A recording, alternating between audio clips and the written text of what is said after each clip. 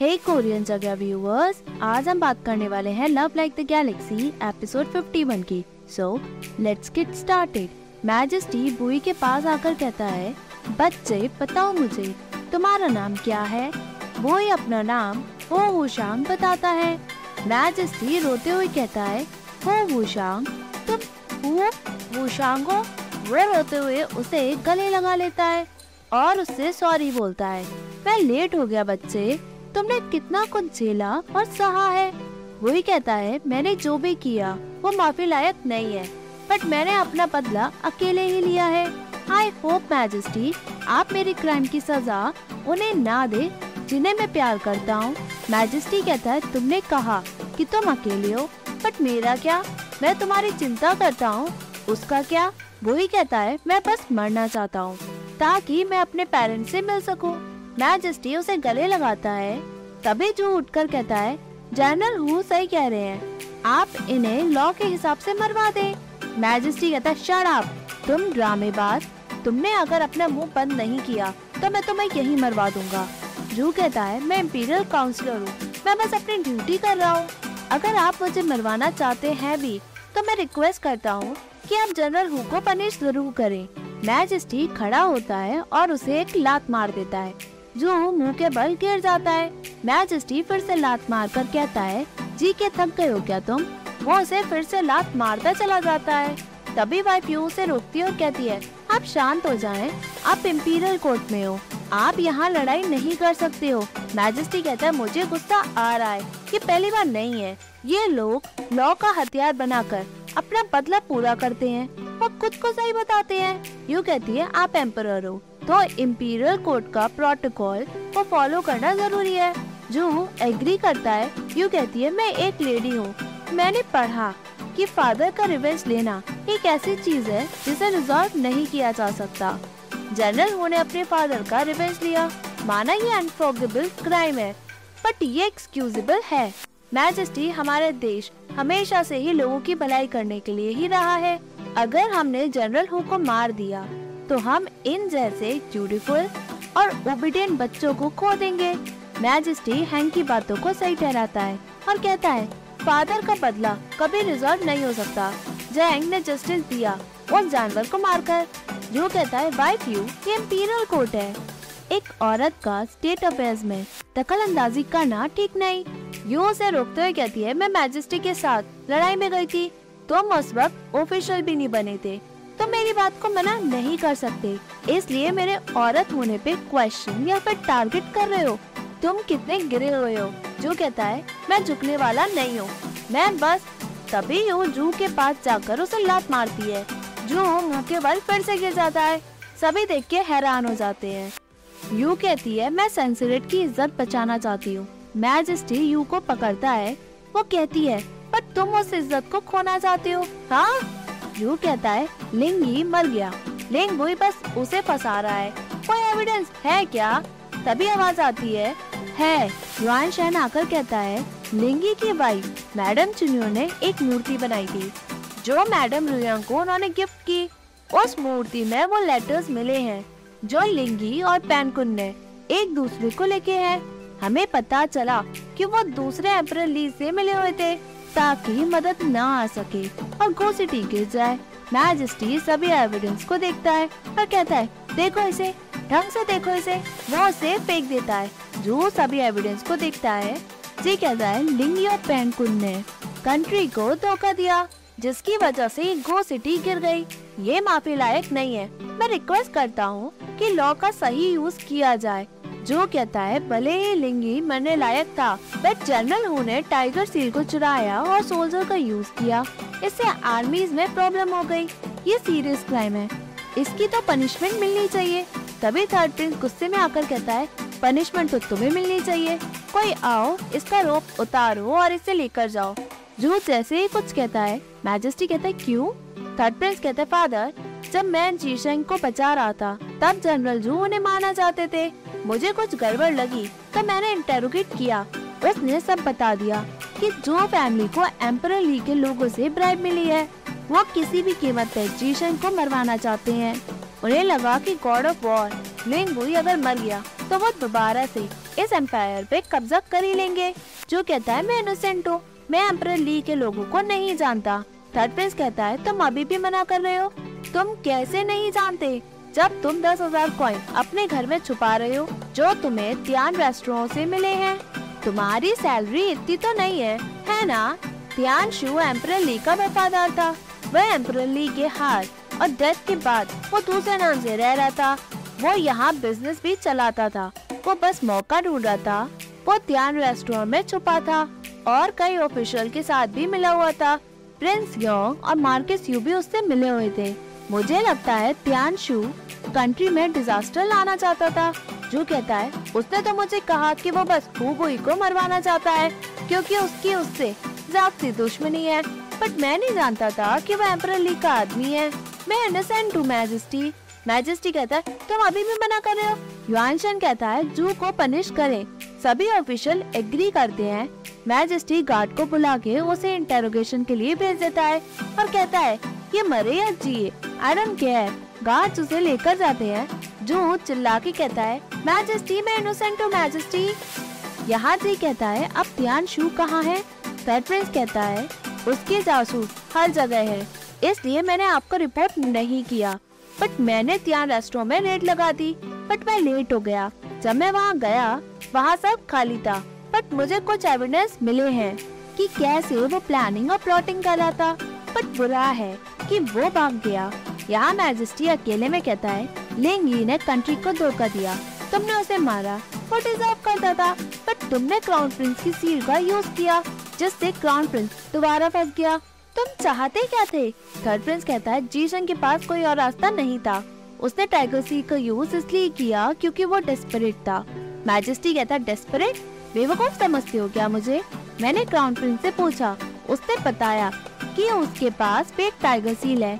उसकी tiger seal market you ने चुरा ली। जी शेंग ने तब बताया भी नहीं। उसने वो सील रखी और छुपा ली, जिसकी वजह से बताओ, तुम दोनों कब से मिले हो? थर्ड प्रिंस कहता है हाँ ब्रदर क्राउन प्रिंस की पोजीशन के लायक नहीं है। वो कंट्री पर रूल करने लायक भी नहीं है। मैजेस्टी कहता है, बस करो। अगर वो लायक नहीं है तो तुम हो क्या? तुम्हारा ब्रदर कितना भी लायक ना हो। बट वो तुमसे ज़्यादा जेनरस और नरम दिल है। थर्ड प्रिंस कहता है एम्पर कभी भी जेनरस और नरम दिल नहीं होता। उसे रूल करने के लिए रीजन चाहिए, जो लायक नहीं है। ब्रदर उन्हें पोजीशन दे देते हैं। इसलिए राव का केस हुआ। क्या नरम दिल होना अच्छी बात है? मैजिस्ट्री शराब कहता है, तुम दिमाग से छोटे हो। तुम अपने भाई की बुराई कैसे कर सकते हो? जी शेंग क्या मुझे क्राउन प्रिंस को उसकी पोजीशन से हटाना चाहिए? कोई कहता है, मैंने क्राउन प्रिंस के साथ कुछ वक्त बिताया। ईस्ट पैलेस पे सारा काम मैंने कुछ टाइम देखा। बट अगर वो एम्पर बनेंगे तो मैं पॉलिटिकल पावर और अथॉरिटी उनसे छीन लूँगा। क्या आप ऐसा देखना चाहते हैं? मैजिस्ट्री कहता है, तुम्हारे पास मौका था बट फिर भी तुमने पॉलिटिकल पावर और अथॉरिटी उससे छीनी क्यों नहीं? वही कहता है, मैं बस आपके साथ लॉयल हूँ, इसलिए मैंने किसी की जगह लेने के बारे में नहीं सोचा। मैं कंट्री की सेफ्टी और स्टेबिलिटी के लिए अनग्रेटफुल बनने को तैयार हूँ बट क्राउन प्रिंस एम्पर बनने के लायक नहीं है। तभी एम्प्रेस कहती है, सही कहा तुमने। वो अंदर आके कहती है, जी शेंग ने बिल्कुल सही कहा। मैजेस्टी तुमने गलत क्राउन प्रिंस को चुना है। वो इनकॉम्पिटेंट और एम्बिशियस नहीं है। थर्ड प्रिंस है, वो आपका ही खून है। मैंने अपने बच्चों को बिगाड़ दिया। बट इन सब में। शाओशेंग का क्या लेना देना? क्यों इसमें उसे घसीटा जा रहा है? क्या ये कंट्री के लिए है? तुमने जो कहा सब सही है। तुमने महान काम के लिए अपने प्यार को छोड़ा। बट जब तुम चंगन मार्किस रेजिडेंस में अकेले थे, क्या तुमने शौशन को छोड़ने का पहले से ही डिसाइड कर लिया था? वो ही रोते हुए हाँ करता है। एम्प्रेस कहती, क्या वाकई में तुम रिग्रेट नहीं करोगे? वो ही अलग ही फील करता है। उसे परेशानी होती है झूठ बोलने में बट फिर भी वो मना करता है। मैजेस्टी कहता है, जी शेंग एम्प्रेस शाओशेंग को अंदर बुलाती है। शाओशेंग अंदर आती है। वही कहता है शाओशेंग जो मेरे मन में था, मैंने सब तुम्हें बता दिया। मैं माफ़ी मांगने लायक नहीं पर आई ट्रस्ट यू कि तुम मुझे समझोगी। शौशन कहती है, मैं सब समझती हूँ कि तुम चैंग फैमिली और मुझे फंसने देना नहीं चाहते थे। तुम बदला लेने का चांस छोड़ना भी नहीं चाहते थे। मैं सब समझ गई बट अब तुम मुझे समझना। वो मैजिस्ट्री और एम्प्रेस से कहती है, मैं सिंपल बैकग्राउंड से आई हूँ। मैं कम पढ़ी लिखी और अलग ही बिहेव करती हूँ। मैं जनरल हु के लायक नहीं हूँ। सो आप इस रिश्ते को तोड़ दे। वो ही रोके कहता है, मुझे तो एक्सप्लेन करने दो। शौशन कहती है, बचपन से मेरा लक अच्छा नहीं है।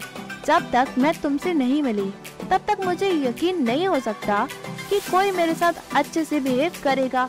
मैं तुम्हें पसंद करूँ, मैंने किया। तुम पे भरोसा भी किया। बट तुमने क्या किया? मैंने कहा था कि अगर तुमने मुझे छोड़ा तो मैं तुम्हें कभी माफ़ नहीं करूँगी। तुम हार्टलेस हो तो मैं अपने ज़ुबान पे कायम। सो आप मुझे जाने दे। हमारे पुराने रिश्ते के लिए वो ग्रीटिंग्स करती है, वो ही रोता है। शाओ शेंग वहाँ से चली जाती है। शाओ शेंग जैसे ही बाहर आती है युआन शेन उसे कहता है, तुम घर जा रही हो? क्या बुई ने कुछ कहा? उसने जो कुछ किया कई मैजेस्टी क्राउन प्रिंस और एम्प्रेस को उनकी पोजीशन से हटाना दे। शाओशेंग कहती है, तुम बेकार में परेशान हो रहे हो। एम्प्रेस को उनकी पोजीशन से मैजेस्टी इसलिए हटा रहे हैं क्योंकि वो पैलेस में रहना नहीं चाहती हैं। क्राउन प्रिंस और एम्प्रेस की पोजीशन दो तलवार पे लटकी है।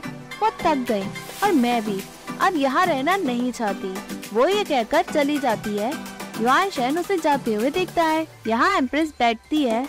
मैजेस्टी कहता है, तुम क्या कर रही हो? वो एम्प्रेस सील देते हुए कहती है क्राउन प्रिंस इनकॉम्पिटेंट और वीक है। वो अच्छा एम्पर नहीं बन पाएगा, क्योंकि मैंने उसे अच्छे से नहीं सिखाया। आप उसे और मुझे अपने अपनी पोजीशन से हटा दे। मैजेस्टी कहता है, तुम ऐसा क्यों करवा रही हो? एम्प्रेस कहती है, मैंने पूरी ज़िंदगी सबकी बात मानी। चाहे वो गलत ही क्यों न थी, उस वक्त तुम्हारी ऑलरेडी वाइफ थी। बट अंकल हमारी शादी करवाना चाहते थे। बट हमारी शादी हुई। उसके बाद आपने मुझे एम्प्रेस बना दिया। ये टिपिकल रास्ता था मेरे लिए बट मैंने मना नहीं किया।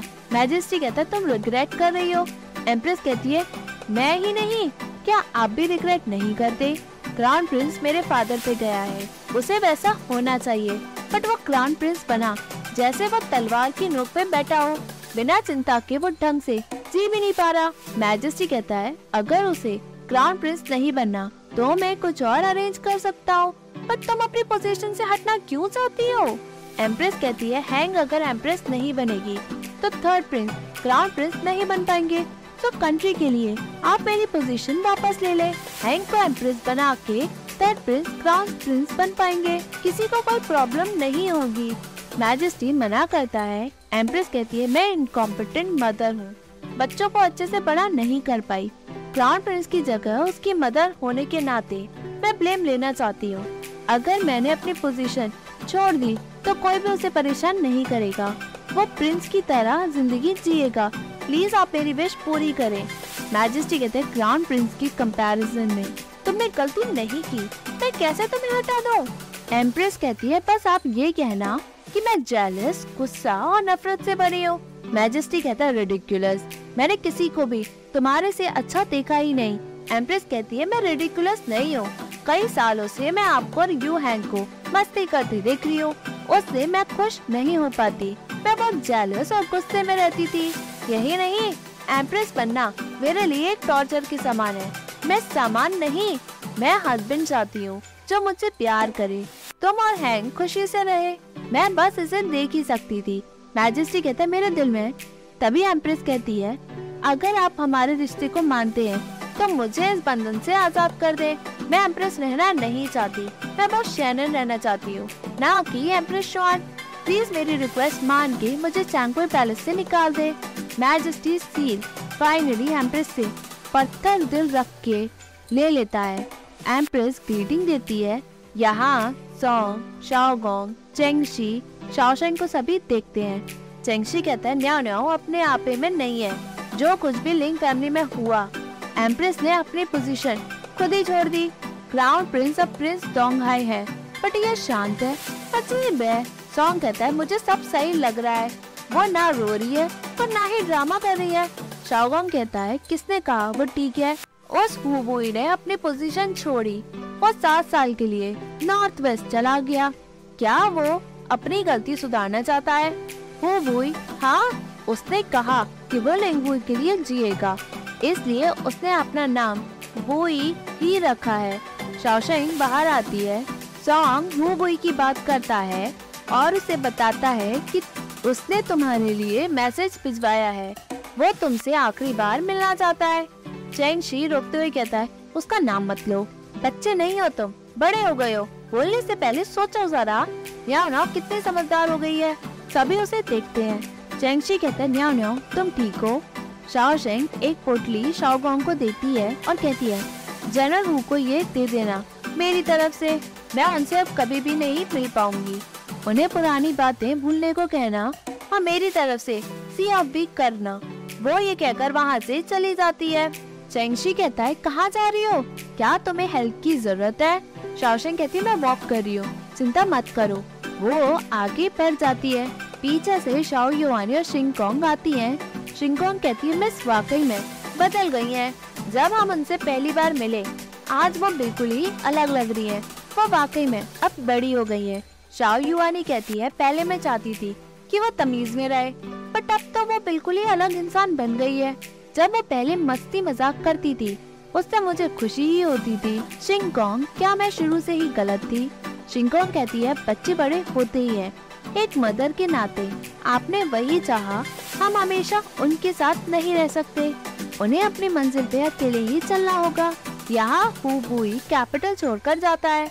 वो शाओशेंग का वेट करता है। यूपे कहता है, मास्टर, हम चले क्या? हम यहाँ छह घंटे से वेट कर शायद मिस चेंग यहाँ न आए। यहाँ शाओशेंग जाती है। तभी शाओ युवानी उसे रुकती है और कहती है याओ कहाँ जा रही हो? शाओशिंग कहती है, मैं एम्प्रेस से मिलने जा रही हूँ। शाओयुआनी कहती है, जब से एम्प्रेस ने अपनी पोजीशन छोड़ी है, वहाँ कोई भी आ जा नहीं सकता है। तो वहाँ क्यों जाना चाहती हो? शाओशेंग कहती है, ऐसे टाइम में मुझे उन्हें अकेला छोड़ना नहीं चाहिए। वो सिटी को बचाने के लिए आप और फादर, मुझे घर छोड़ के गए थे ना? हम अपनी ड्यूटी और लॉयल्टी नहीं छोड़ सकते, मैं सब समझती हूँ। इसलिए आप मुझे जाने दे, ताकि मैं अपनी लॉयल्टी निभा सकूँ। यहाँ बुई खड़ा होता है, तभी शाओगोंग आता है। वही कहता है, शाओ शेख कहाँ है? शाओगोंग उसे पोटली देता है और कहता है, आपकी लॉयल्टी और ब्रेवरी को देख पाना इस दुनिया में मुश्किल है। चेंग फैमिली आपको एडमायर करती है। आप मैजेस्टी के प्यारे हो, इसलिए उन्होंने हमें छोड़ दिया जब हमने आपकी उस दिन हेल्प की थी। आप चिंता ना करें, ये एक डिफरेंट मैटर है। आपकी किस्मत उसके साथ खत्म हो गई तो आप कोशिश ना करें। वही कहता है शौशन ने कुछ और कहा क्या? यहाँ चैंगयंग कहती है, तुमने कहा कि एम्प्रेस को तुम्हारी ज़रूरत है पर आंट की तबीयत कई साल से ठीक नहीं है। उन्हें भी तो कोई चाहिए। तुम जाओ, मैं आंट का ख्याल अच्छे से रख लूँगी। और कभी शादी नहीं करूँगी। शाओशेंग कहती है, मदर मुझे जिद्दी मानती है, पर तुम भी वैसी हो, यांग चेंगेंग कहती है, न्यो न्यो, सुनो, तुम्हें अच्छा हस्बैंड ज़रूर मिलेगा, जो तुम्हें वैल्यू करेगा। अपनी ज़िंदगी ऐसे मत सेक्रीफाइस करो। यहाँ वही पोटली खोलता है, उसमें वो सील होती है। यहाँ शौशन कहती है, किसने कहा कि हस्बैंड ज़रूरी है? अगर मुझे चाहिए होगा, मैं खुद ही ढूंढ लूँगी। अगर नहीं भी मिला तो कोई फ़र्क नहीं पड़ता। अपना ख्याल रखना मदर आप भी अपना ख्याल रखना। वो ही मन में कहता है, अगर किसी ने उसे धोखा दिया तो वह उसे कभी भी माफ़ नहीं करती। मैं जानता था कि वो ऐसी ही है। वो या शौशंग अपने अपने रास्ते और अपने अपनी मंजिल की तरफ़ आगे बढ़ते हैं। दोनों अलग ही चाहते हैं। किस्मत क्या रंग लाएगी? पता नहीं। चाओ युवानी सब सोचती है कि कोई भी चैंगरी पैलेस को छोड़ के नहीं जा सकता। वो सभी बातें सोचती है। वो कहती है शौशंग कभी वापस नहीं आएगी। वो वहाँ रहने जा रही है। चलो जल्दी, कैरेज निकालो। यहाँ सीमा गेट के अंदर शौशन जाती है। शाह युवानी भी वहाँ पहुँचती है। वो भागती और शाओशन को उतरते हुए देखती है।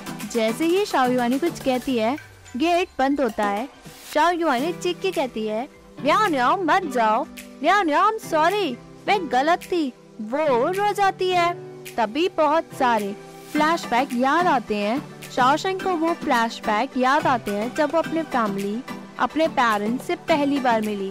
वो सभी पल याद करती है जो उसने जंग फैमिली में बिताए। मार्केस रेजिडेंस में बिताए। शाह युआनी खूब रोती है। उसे अपनी गलती का फाइनली एहसास हो ही जाता है। लेकिन तब तक बहुत देर हो चुकी होती है। वो न्यो न्यो कहकर रोती है। गेट फाइनली बंद हो जाता है। वो बाहर बहुत रोती है। तभी एपिसोड एंड होता है। Hey viewers if you like this video please like share and subscribe this channel thank you